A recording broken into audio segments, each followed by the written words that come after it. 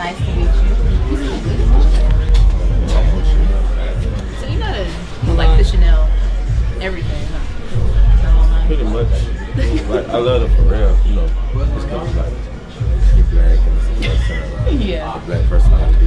Yeah. Pharrell. Chanel. So you support it, of course. What about Louis Vuitton?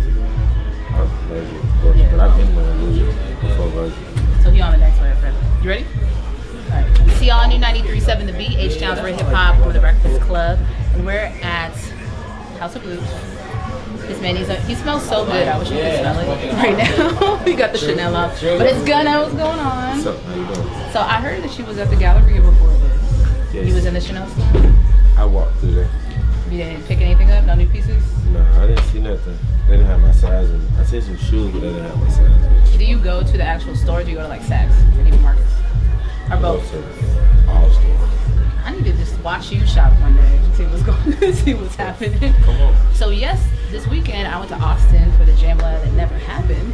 But how was the Dallas show? I That saw. I saw you coming Yeah. out. Yeah. Yeah, I posted on my page. It was, I, I, the whole show was like on 10. Yeah. Not a dull moment at all. So what did what did you do on Saturday since you had a free day? Uh, it wasn't a free day. I had a I had a bar mitzvah I had to do the same day. A bar mitzvah? Yeah, so I so I just left and went to New York earlier Mm-hmm. than I was supposed to. I was supposed to just I had pushed my setup JMBLYA a little bit early, Okay. so so I could do both. But since they canceled it, I just went on and went to New York.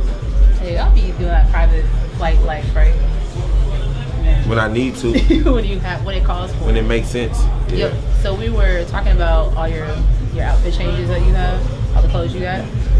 So it's the Met Gala today. So I was like, oh, it's Met Gala Gunna back here. Okay, we got you. so what kind of pieces do you showcase during your show? Like what designers?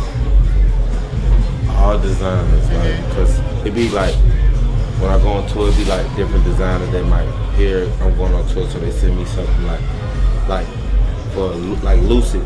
Okay. You ever heard of those? No, but you're putting me on. It's, it's like a it's like a clothing company. I don't know if they're based in Atlanta, but they got a, a spot in Atlanta too. Okay.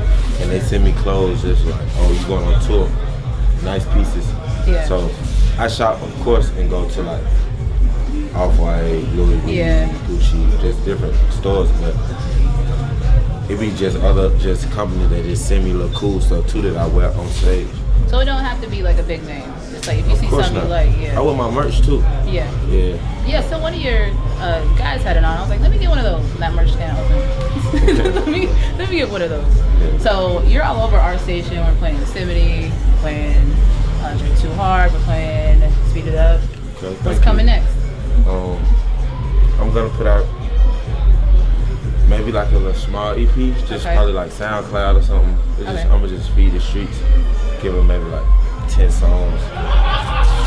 That's like soon. Okay.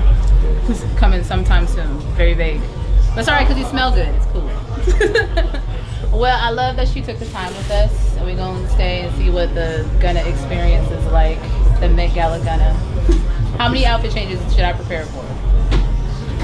Three, maybe four. It depends Okay. on how long you stay with. me. Okay. Three or four outfit changes. We gonna get in. We gonna post them up like it's the Met Gala. You did. it's all new 93.7 The Beat.